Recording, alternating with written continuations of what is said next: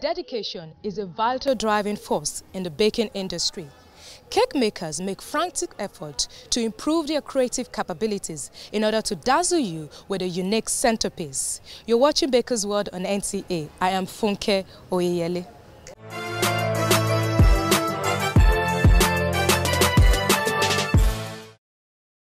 Have you ever imagined how to achieve a cake with a heart on it?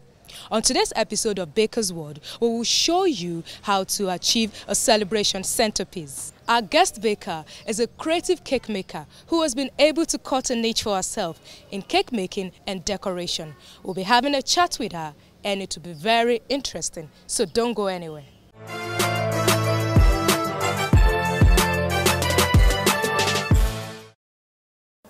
On this segment, our cake is already baked, but our baker Ngozi and our assistant Uju will show you how to make fondant icing and decorate a graduation cake with a heart on it. I'm pretty sure you will learn something new from our baker's creativity. So let's get started.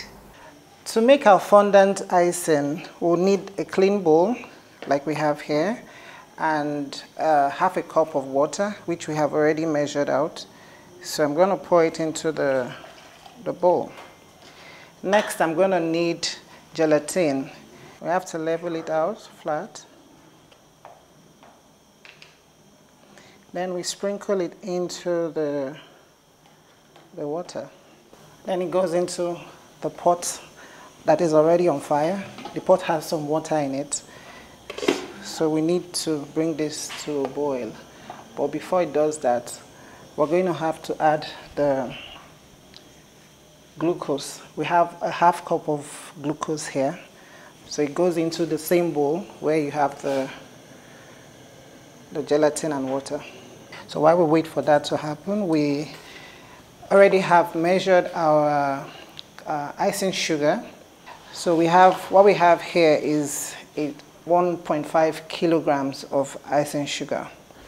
We need to sieve it in we're sieving now the icing sugar. One more thing I need to add, which is our, our CMC and combine everything together. Again, once you're convinced it's combined, then that's when we need to wait for our hot ingredients to come to a boil. I could check that now. Yes. So it's completely loosened up right now. Let me show it to you. It's, it's just like water. So I'm just putting it in the middle here. Now, so you have the ice and sugar to combine. All right, so we need to transfer it to the table now and knead properly to combine. So you keep kneading it till it's combined very well and then you can see it's, it's a complete paste now. As we can see, it's a beautiful looking, you see? That's what your fondant should look like. Once you're done, you get a Ziploc bag or any airtight bag because you don't want to expose it. If you expose it, it gets dry put it in there until you're ready to use. We'll take a quick break here and leave our fondant to rest for a while. When we return, we'll be having a chat with our guest baker. Our guest today is Ngozi Azubike, born January 12 in Anambra State. Ngozi grew up in Delta State where she attended Federal Government College Warri and from there she proceeded to Enugu State University of Science and Technology. There, she bagged a degree in public administration. Upon the completion of her degree, Ngozi, like many others, was looking to get a white-collar job and after a year of searching endlessly, Ngozi finally decided to delve into cake making, a business she started during her undergraduate days. As time passed, Ngozi started earning a good reputation and referrals from different clients. In pursuit of creativity and professionalism, Ngozi Azubike attended various training schools with top bakers both in Nigeria and outside the country. Today, Ngozi has become a prominent baker, creating bespoke cakes, that has been celebrated by peers at many shows and fairs. She has also impacted lives and careers of other bakers by training them in the art of cake making, sugarcraft and decorations. Ngozi is married and blessed with three children. She is the CEO of Glitters Cakes and Deco. And of course, the woman we've been talking about is right here with me on Baker's World. You're welcome on Baker's World. Thank you very much. Now, tell me, when did you first realize you wanted to venture into the baking business? That was about 10 years ago, if I'm correct. I, I newly just moved to Abuja and I really didn't have much to do and I was looking out for that business or, you know, thing that I can just lay my hands on that would work for me. But it wasn't easy, of course. So what were your expectations like when you started? I won't really say I had much expectations. Okay. At the time, it was just a mindset of make your cake for make the cake for the customer and deliver it to the customer. They're happy, I'm happy. That was really all I had at the time. But as time went on, my expectations grew, and people because people were now asking, "Oh, um, do you teach? I would like to learn under you and all that." So I realized there's even more to this than just baking a cake. Tell me about your first rookie mistake. Huh. that would be um, not busting the air bubble on the fondant. So I didn't realize that was a thing, really, because I basically learned the hard way. I learned on the job. So I was delivering this cake to a client, and I had gotten there. This was a very well finished cake, and I had gotten to the point where the customer, in fact, she drove her car to me.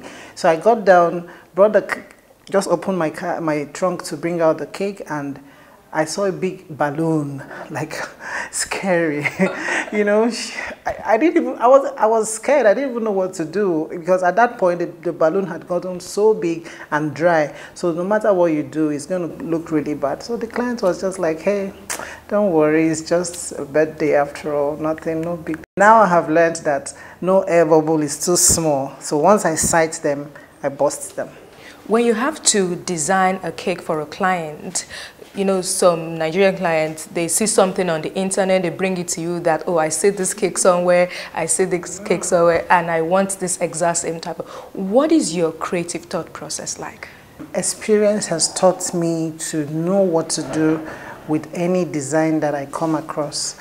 In fact, I would think they throw difficult designs at me purposely because they think I can do it. They've seen something similar and they think, oh, if she can do that one, she can do this one too. So when they throw something like that at me, it's more or less the experience. That's why even those who come under our tutorship, we always tell them, you can't possibly learn every single thing. But some things your mind will be open to with time because you already know how to do A, B will just come to you. Once I see a picture, I already can tell, oh, that was what was done there, this is what was done there, and what is the most challenging cake that you've ever made as an experienced baker? That would be the human being. Okay. And the castle cake. Okay. Those are really, really challenging. Those are not the kind of cakes that you just do overnight or something. You know, you have to plan ahead and prepare. To you, who is an ideal customer? Ah, I don't think there's any such thing as an ideal customer because they don't really know the work that you would put in. So when they come telling you probably a cake that is supposed to be a hundred thousand, they're telling you, oh, after describing this beautiful cake, they're telling you they have only twenty thousand for it. You're expecting them to know, right? I mean, what you're bringing is it can't be for this amount, but they, but they don't know. So there is no such thing as an ideal customer for you because an ideal one would be the one who understands what they are supposed to, what they are asking for, and what you're going to be giving them. Well, thank you so much. It's really thank you, thank you. It's been my pleasure. Thank you. Well, that was our conversation with the CEO of Glitters Cakes and Decor, Ngozi Azubike. We'll take a quick break here, and when we return, we'll be covering the cake and doing further decorations.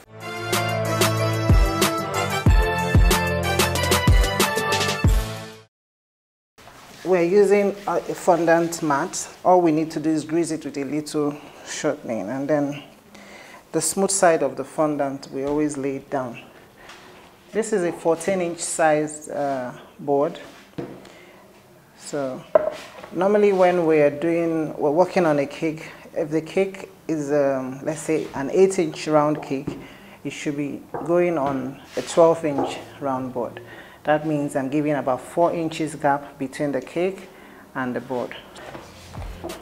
I can actually lift my fondant mat as well as the fondant and then I lay it over and I peel out. Here we have some cornstarch.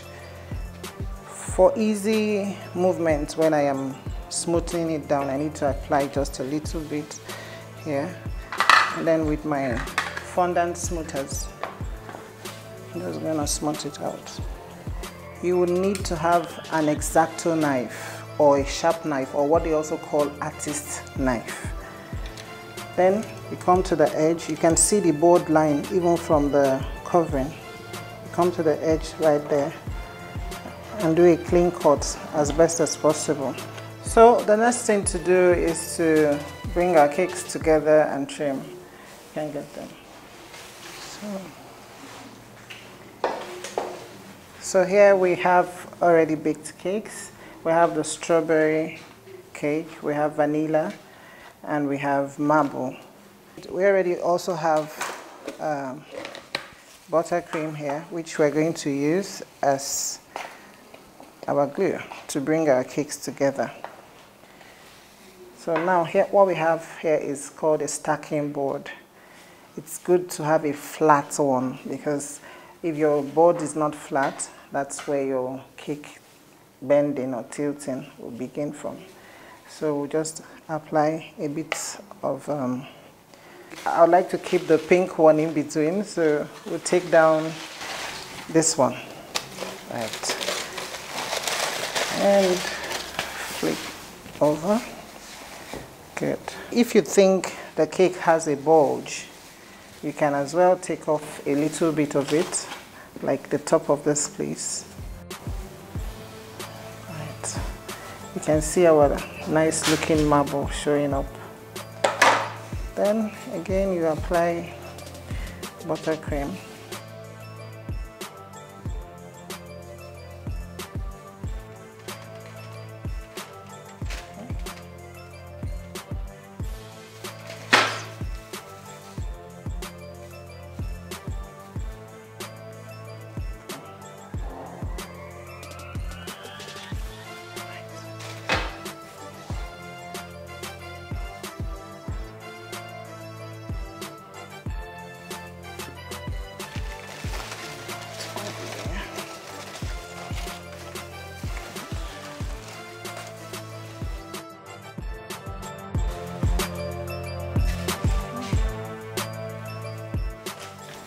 I'm going to try to trim the sides as well because you can't have it looking rough like this. If you, if you leave it like that and you cover your, your cake, it's going to, the fondant wouldn't sit properly. It's going to look very, very rough. And then you begin to see the lines of the joining, which we can't afford to see.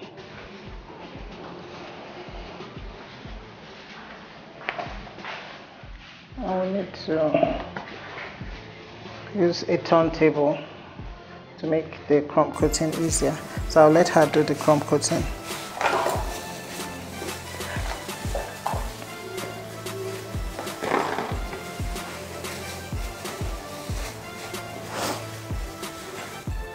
So crumb coating is basically covering the naked cake with some buttercream.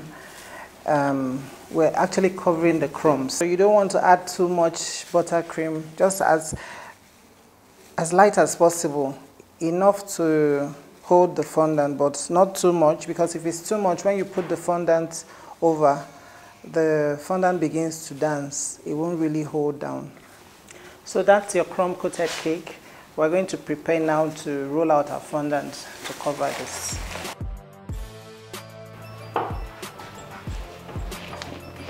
so again. I lift. Then cover.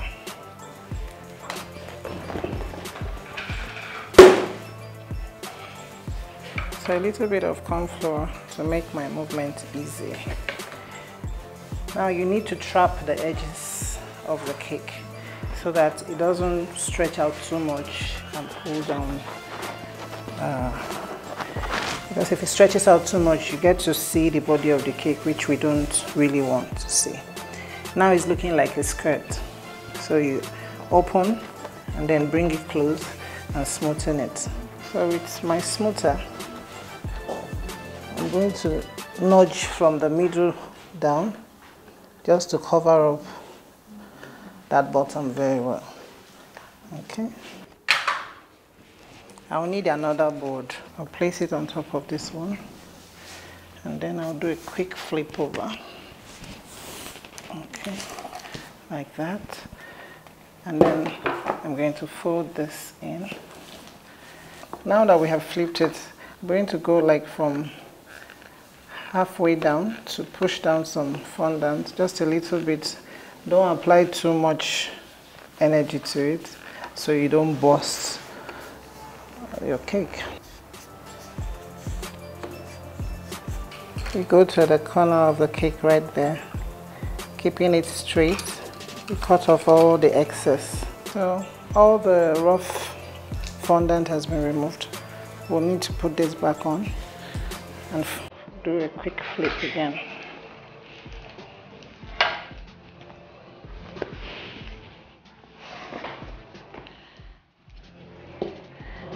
Now we have a smooth top.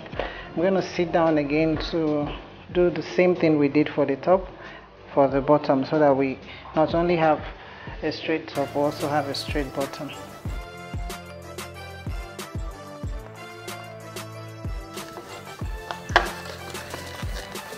Right, so I'm gonna stand up again to flip. While we wait for this one to set, we're going to prepare to cover our heart cake.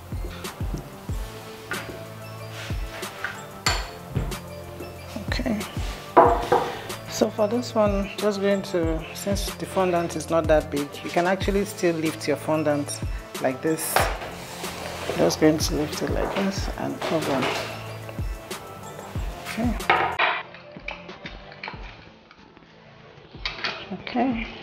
done for this one.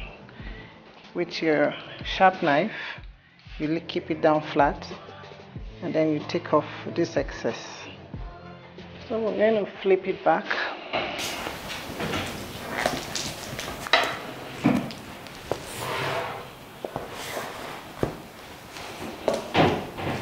Our next thing is to transfer the cake to the final board and then we'll continue our designing. But before I let go, I want to check that it's a bit centralized. So now we're going to put some dowel rods. These, um, these are going to serve as support for the cake that will sit on top of this one.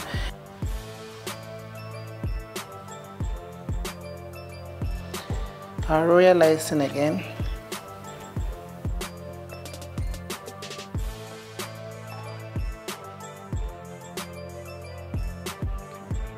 About to do is basically what we have here which is the the lead of the graduation hat. All I need is to grease the top of this piece with just water it's fine. I'm going to just lay it right there. I purposely tilt it a little bit just. This is black fondant. So I'm going I'm just rolling it like into a sausage so that I will have a longer strip to work with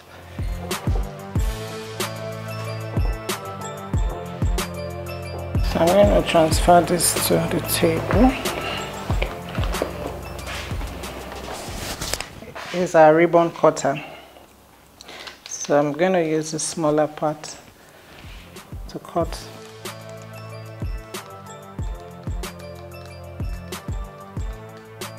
I'm going to roll this into a mini roll so that it will be easy for me to work with while, while I'm applying. So this is sugar glue, which is just CMC and water. Just a little bit of CMC. Leave it for about three hours or so, it will dissolve and become like this. So I'm going to just apply enough to make it sticky around the waistline.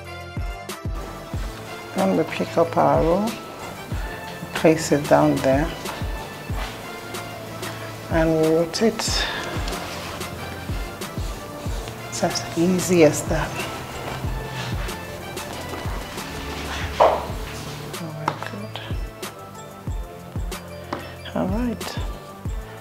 So again, I'll put it right there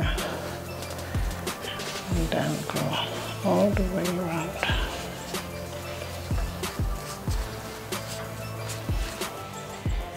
So I'm going to just share this into two.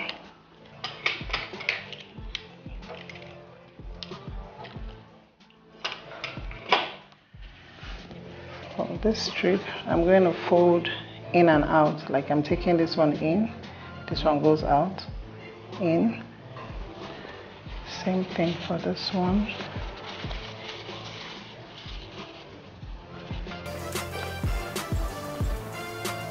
Right. Now we have a ball. Just apply a little bit more of the sugar glue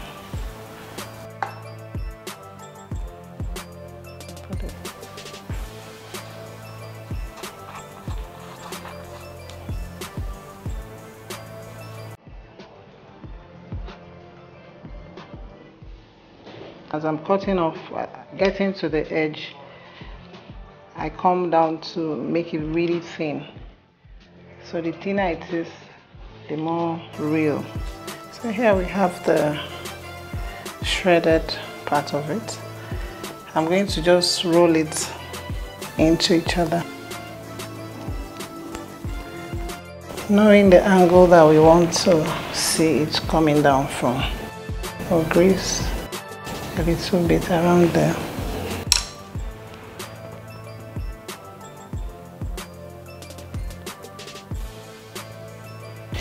Then we'll make a ball.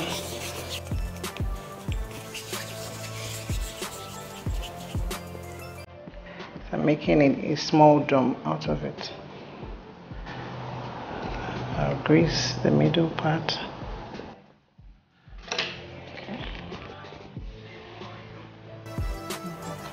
Now I would need my steamer to come on.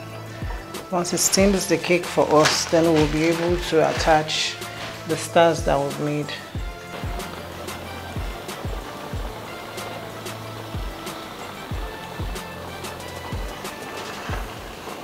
Now that it's steamed, it means that the body of the cake is a little wet, so it can take on anything I want to put right now.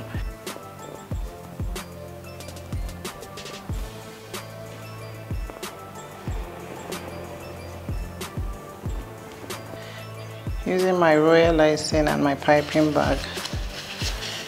I'm going to just write congratulations right here in front